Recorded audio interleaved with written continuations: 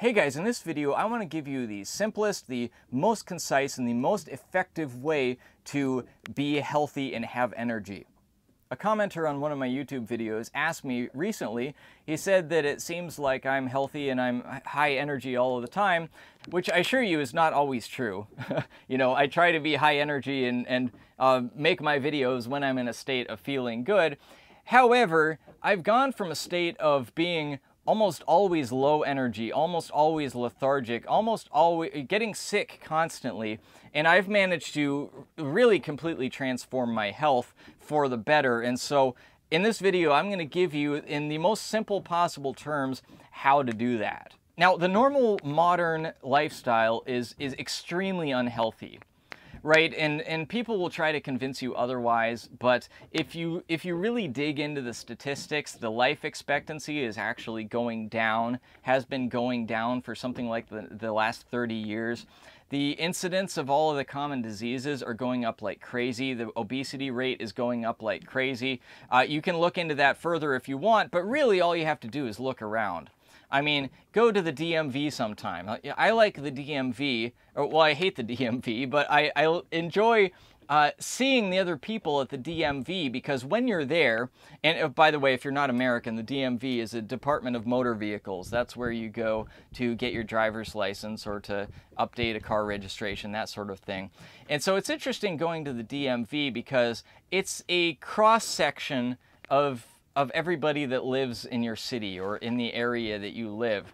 And so generally we kind of uh, associate with people who are like us, right? If we're if we're rich, we live in a, a, rich neighborhood and we go to rich people's stores and we see rich people. But if we're poor, we live in a poor neighborhood, and we always, you know, the people around us are tend to be like us. But at the DMV, everybody is equal because everybody has to go there. So you kind of it's a bit of a culture shock sometimes. You see, this is how the other half lives, sort of. So anyway, what I would say is just go to the DMV and look around. Do the people look healthy? Do the people look fulfilled? Do the people look like they have happy lives?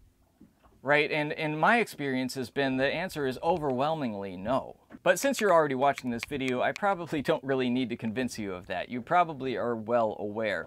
And so the, the thing I want to start with is that there are a ton of things that are unhealthy with a modern lifestyle. It's not just one thing. It's not just McDonald's. It's not just uh, soda pop. It's there's a million different things that are contributing to our general poor health, and it's really easy to get overwhelmed and to just kind of want to give up, right? It's like that that old joke about everything gives you cancer right? You get so tired of hearing about all the things that are giving you cancer, it seems like there's nothing that you can do. And so what I want to uh, preface this video with is that yes, there's a lot of things in our modern lifestyle that will make you unhealthy, that will give you cancer or make you unhealthy in some other way. And so the best thing that you can do is just make a change a little bit at a time right? You don't have to turn your life completely upside down all in one go. If you can change just one thing as a result of this video, you're going to be just a couple percent healthier. And then if you can go back two weeks from now and change one more thing, you're going to be another couple percent healthier. And if you can do that for, let's say, six months, just a little bit of an improvement at a time, you're mm-hmm. going to look back at yourself six months in the past and you're not even going to recognize yourself. The difference is going to be immense. So don't get overwhelmed. Don't feel like you have to change everything at once. Now, from what I've found in my own personal experience, is that physical health is 80% a result of spiritual factors and only 20% a result of actual physical factors like what you eat and how much you exercise and how much you sleep and that sort of thing. And this is something that mainstream science has sort of caught on to a little bit, but I believe that in the coming decades, they're going to figure out is a bigger and bigger and bigger portion of our physical health. So some examples of the things that we already know are the placebo effect, right?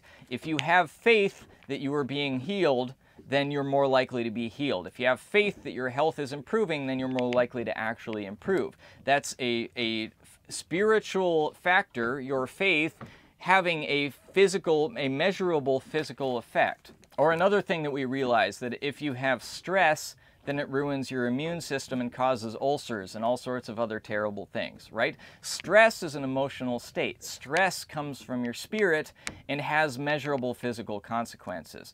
So we've figured out that the spiritual affects the physical, but we really, mainstream science, in my opinion, has only just scratched the surface of how impactful that actually is. So because it's the most important factor, I'm going to start with what you can do to improve your health from a spiritual perspective. So the first thing, and this is probably the one that is most well recognized, is having stress or having relaxation. If you are stressed out a lot, you want to learn to relax, right? The best way to do that is to learn to meditate. And I would highly recommend that you make a habit of meditating every single day. I do it in the morning. First thing I do after I, I brush my teeth and put in my contact lenses in the morning is I go outside and I meditate for a few minutes. And if you've never meditated before, then there's uh, there's some apps, there's some videos that you can get on how to do it. It's really very easy. Um, there's one called Headspace, there's one called Calm. Eh, pretty much any one. They'll teach you to focus on your breath and just clear your mind for a few minutes. That's a perfectly fine way to start. It doesn't really matter so much which meditation you start with. Just find one that's fairly short, that's not going to seem like a big burden on you, and, and give it a try. Do that every day for a while.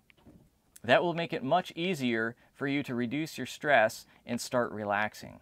Next thing you can do that is super helpful is to stop complaining and start having gratitude. Whenever you find yourself complaining about something, well, there's two ways that you can do this. Either, and, well, this is the easier way. Either remove your focus from the negative thing and find a positive thing right? So for example, if I'm driving down the street and there's a traffic jam, I can complain about the traffic jam, or I can be grateful that I have this car. I can be grateful that I have these streets, you know, even if they're congested. I, I'm able to transport myself long distances. I can be grateful that I'm eh, very comfortable in a car that has air conditioning. And, you know, if you're living in Florida in the summer like I am right now, that's a big deal, right? There's a million different things that you can be grateful for. Be grateful that you're able to see. Be grateful that you're able to hear. Uh, be grateful that you have a radio and you can listen to music. You know, there are a million different things in any situation. You can take your focus off of the one little thing that's bad and start focusing on the things that are good. And then if you can develop this, and this, is a little bit more difficult, but if you can develop this even further, you can start thinking about how the thing that you think is bad might actually be good. For example, the traffic jam that you're stuck in is an opportunity to practice your gratitude, right? Is to practice your patience. It's making you a better person. Uh, and, and, and maybe the traffic jam is preventing you from getting to some place where something bad would happen right? Maybe it's actually protecting you from something. Uh, maybe the fact that you're missing the first 10 minutes of whatever you're going to was a good thing because you're avoiding something that should have been avoided, right? There's a million different ways that the thing that you think is bad could actually be good, but you being stuck in the situation just don't have that higher perspective. So if you can take a step back and think about how that higher perspective might look at the situation, then even the thing that you're complaining about might be something to be grateful for. Which is actually a topic that I covered in great detail in this video, all about why you should be grateful for your struggles and why your struggling now may well be a great asset for you in the future. Another thing that makes a big difference is to take your doubt and turn it into faith. Another thing is take your resentment turn it into forgiveness. Another thing is to take your guilt and turn it into repentance. Now, these painful emotions, by the way, like resentment, like guilt, um, even pain itself, like physical pain, they're all warning signals. They're all trying to tell you something. They all exist for your good. If you have pain, let's say that you put your hand on a hot stove, that pain is telling you there's something wrong, your body is being damaged, change something fast, right? Emotional pain is exactly the same way. If you feel guilty, it's because you're doing something wrong in your life and you need to change that thing about your life. Other things that'll make a big difference is to take pride and turn it into humility. Pride is terrible because, as the Bible says, pride cometh before a fall. If you are a prideful person, you always have to worry about that pride being damaged right? It's a, a, fragile thing that you constantly have to protect, and it takes up your energy and it takes up your health. Whereas if you can come from a place of humility that you don't have any ego to protect, you you're not trying to prove yourself, you're not trying to impress anybody. Uh, then life just becomes so much easier. Like there's so much less that you have to worry about. So if you will do those things, then you'll be much more spiritually healthy. And another uh, just really quick shorthand is to just listen to the words of Jesus. Right? I mean, you can read through all four gospels in a few hours. It's not that long. Just take the moral advice that Jesus gives you and you will be far and away more physically healthy than you were before. Right? I mean, I think it's kind of funny that that people see religion as this this kind of transcendental mystical thing where in reality it's just this is how to live your life in a way that is going to work and that's going to make you happy and fulfilled and literally physically healthy. Okay, so that's the spiritual element. Now let's get into the physical elements. Now, again, the spiritual is more important, so if you have to focus on one or the other, I'd recommend that you focus on the spiritual. However, the body is a physical material being, and so it has uh, effects from physical material causes. So there are a variety of things that you can do to improve the health of your body. So the one that's most talked about is diet. So I'm going to start there. Um, I don't recommend really specific restrictive, difficult diets, right? I, in fact, I don't recommend diets at all. I recommend a, a lifestyle that follows a certain philosophy. And so I'm going to give you my philosophy on food.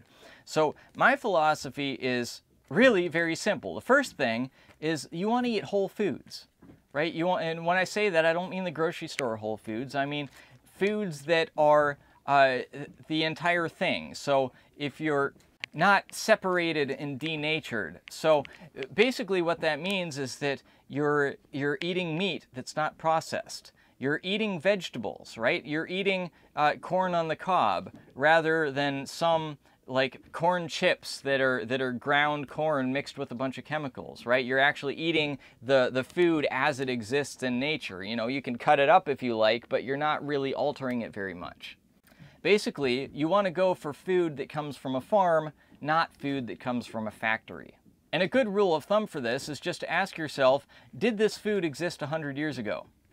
Right? And if the answer is yes, then then that meets that requirement. That's it's not like something like a, a Clif bar or a, you know those protein bars are absolutely awful for you. I wouldn't recommend anybody eating those or artificial sweeteners or that kind of thing. It's it's not even really food. It's it's chemicals that are packaged as food oftentimes mixed with actual food that has been completely destroyed and denatured. So the first and most important thing is stick to whole foods, right? I mean, you know, you can you can have some ice cream every once in a while, you can have a granola bar, you can have a Snickers bar. Uh, I'm not saying that you can't ever do that. I'm just saying that you want to increase the amount of, of whole foods in your diet and decrease the amount of factory foods. And that goes for everything I'm about to say, by the way, right? These are, these are all rules where you don't have to follow 100%, but the closer to 100% you get, the more healthy you're going to be. Uh, the next thing that's very helpful is to go for foods that are, are organic, that are not genetically modified, and if they're uh, animal foods, that the animals were fed a natural diet, right? That the animals aren't, aren't fed a whole bunch of artificial junk food, because if the animals are, are fed artificial junk food, then uh, that's going to be the quality of the meat or of the milk or of the eggs or whatever it is. So try to make it as natural as you possibly can. Now, once you have those two rules, once you have you're eating whole foods and you're eating whole foods that were grown in a natural way, then really all you have to do is to listen to your body. Your body is actually equipped with uh, sensors, let's say, to tell you what you need. And that's why you have certain cravings for certain things. Your body knows when you need more carbohydrates. It knows when you need more protein. It knows when you need more fat. And so instead of trying to write down on paper what your macro balance is going to be, uh, oh, it's going to be 40% protein and 40% carbohydrates, like throw all of that out and listen to your body. Listen to what your body is asking for at the moment. Because as soon as you get rid of all the artificial crap, because the artificial stuff, the artificial food, will throw off your body's natural sensing mechanisms. That's why it's so pernicious, in part, uh, because your body knows what it needs unless you're giving it non-food, in which case it gets all messed up. So once you switch to eating real food, then just listen to your body for what it needs and it will guide you properly. Now, you're probably not going to be able to eat 100% whole food, and that's okay. So I, I give a, I'm going to give you a list of what are some of the most harmful uh, fake foods or the most harmful additives or ingredients in fake foods and those are vegetable oil. So that look at the labels that's in almost everything. And when i say vegetable oil they named it the name vegetable oil is marketing right? You think vegetables you think it's healthy but really nothing could be further from the truth. This is it, should be called industrial seed oil. This is canola oil this is uh, corn oil this is soybean oil and a few other different kinds that just generic light yellow oil is absolutely awful for you. And so all of your deep fried foods are going to be are going to be uh, cooked in that and completely soaked with it. There's a lot of it in processed foods. If you look at the box, you look at the ingredients, oftentimes there's vegetable oil. So that's something you definitely want to avoid. Uh, MSG, monosodium glutamate, you find that in a lot of processed foods. White sugar, high fructose corn syrup, uh, any kind of artificial sweetener, um, with, with maybe some exceptions like uh, maybe stevia or monk fruit are all right. I'm, I'm kind of, I don't know about those. But for the most part, any artificial sweetener is going to be awful for you. And then pretty much any chemical that you find on the label that you can't pronounce. Now, just because it's a chemical doesn't mean it's bad. And, you know, some, some like smart Alex are going to say, well, uh, dihydrogen oxide is a chemical, and that just means water, right? But in general, if you don't know what the heck it is, it's probably best to stay away from it. And then the last thing that you want to do is you want to drink water. Look, in the United States of America, we I think the number one cause of our obesity epidemic is because a lot of us have replaced water with soda. And, and soda is, is particularly bad, one, because in the US we use high fructose corn syrup, which is a, a worse sugar than even the regular white sugar. It has a lot of it, and because it's in liquid form, it means that it doesn't fill your stomach the way that if you ate donuts it would. So basically you can, you can stuff yourself with donuts, let's say, and then eventually you get to a point where you can't fit any more donuts down your gullet. But you can still drink a soda, right? Because that's liquid. So you're, you're forcing that extra artificial sugar into your body even in excess of the capacity that your stomach has. So definitely avoid soda. I would say avoid pretty much every drink except for water. Make sure that at least 90% of your fluid intake is pure water.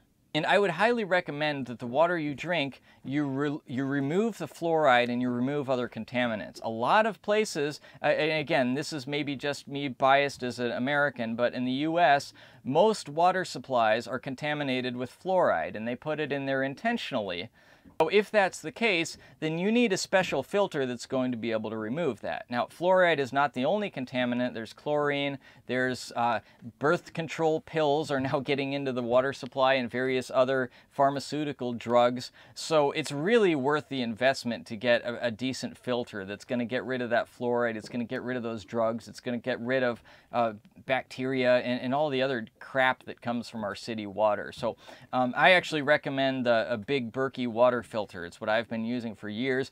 It gets rid of most of the fluoride. It gets rid of all the other contaminants. Uh, and I'll put a link in the description there where you can get that. It's a little pricey, but it's totally worth it. And in fact, something I learned just recently is that fluoride causes acne for a lot of people. So a lot of people that have had acne for a long time and just cannot get rid of it, cannot figure out why, as soon as they stop drinking fluoride water, the acne goes away. And I have no idea why that is, but it seems to work, and a lot of people swear by it. So that's basically it for food. Uh, now let's get into exercise. You know, people emphasize exercise a lot. I think exercise is, is important, but it's not as important as most people make it out to be. So I would say rather than, uh, and most people do this, this is, this is how most people go about exercising. They sit down for 16 hours a day, and then for one hour a day, they go work out really intensely.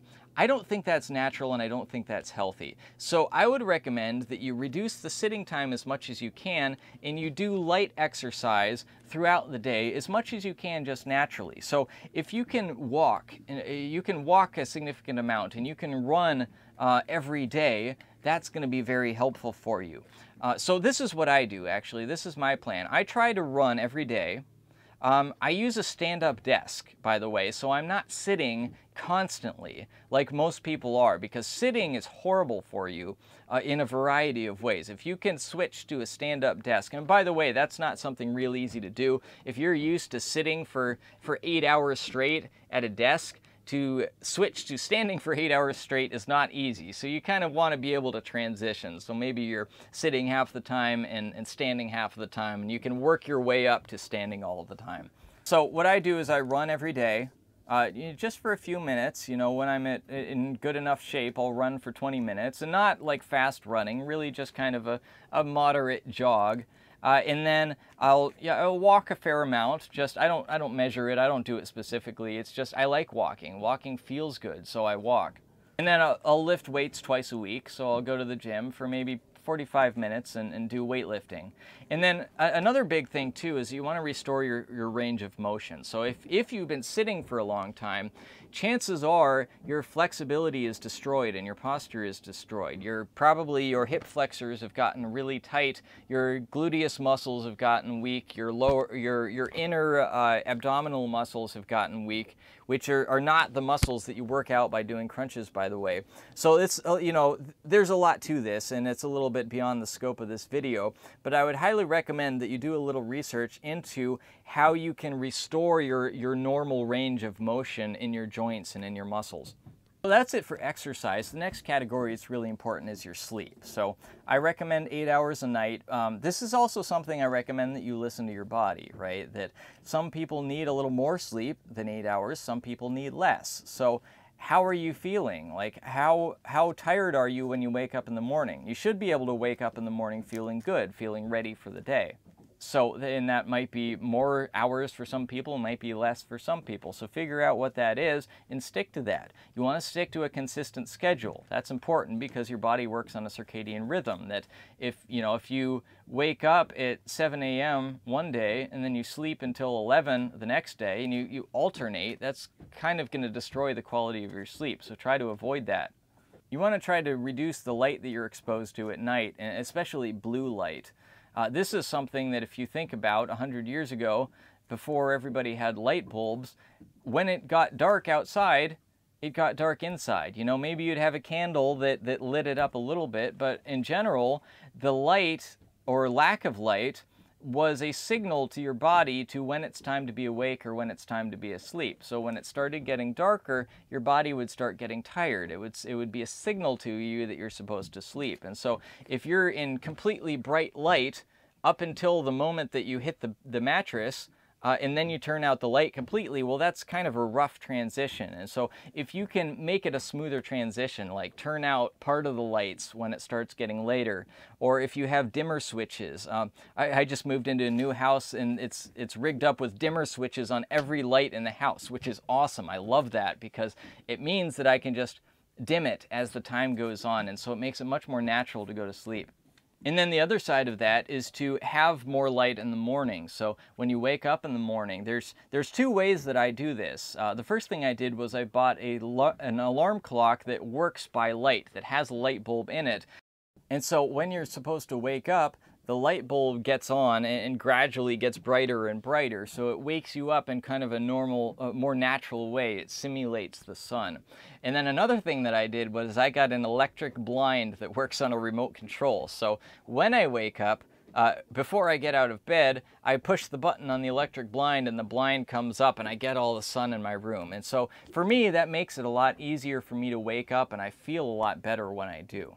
And so that's it for the sleep. Now I, have another, a few other miscellaneous things that I find helpful too, so I'll give you those as well. Uh, the first is to go outside every day. Um, it, to me, it just it feels good. I feel so much better. You want to get that sunlight. Um, you, it just it's it's not natural for you to be inside from morning until night and, and, never get any sunlight, right? Uh, you know, people try to tell you that sunlight is bad for you, and I think that's true if you're not prepared for it and if you're getting it in, in too much of a dose. Like if you're getting sunburned, that's in, uh, that that's showing you that it's that you're getting too much uh, right? But up until that point, sunlight is very good for you. It helps your mood and it helps your health. Um, I also like to go outside barefoot. Now, this is something that uh, I've you know I've heard of. It's called grounding, and I'm I'm not really sure if it works or not. Uh, but it, it just kind of feels good to be eh, have that touch with nature. And probably I sound like some weird hippie, but I kind of like it. Just take a, a little walk in the sun barefoot. If you're kind of in the country like me, feels great. Another thing I highly recommend is you meditate every day. Um, I know I said this earlier, but that it, it, not only helps you spiritually, but it also helps you physically.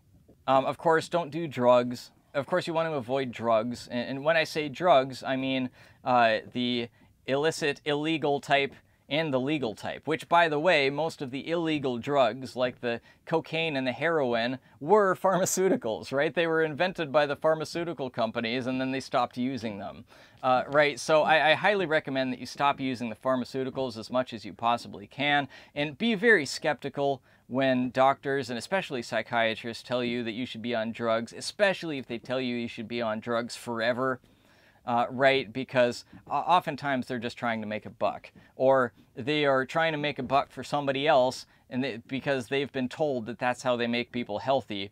Uh, but you know, you can see the results of the world around us. It's not working. So try to avoid the drugs as much as you possibly can.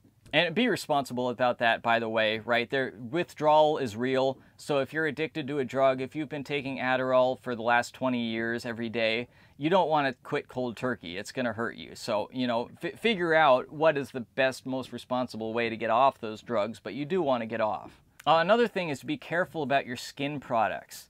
When you rub something into your skin, your skin is absorbing that stuff and it gets into your bloodstream. So there's all sorts of nasty stuff that they put in skincare products, such as parabens and phthalates, which screw up your hormone levels. And, and, I mean, those are the only ones that I know off the top of my head. There are probably more, but you want to try to uh, apply the same standard to your skincare products. You want things that existed 100 years ago. You want things that are made of natural products and not some weird chemicals that were invented in a lab and never occur in nature.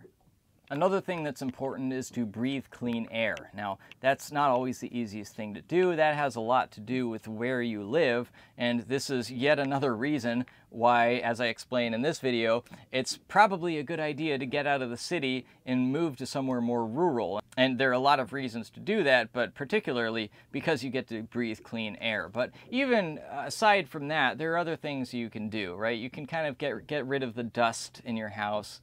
Um, you can get air filters that you can put in your house. There's other things you can do for that.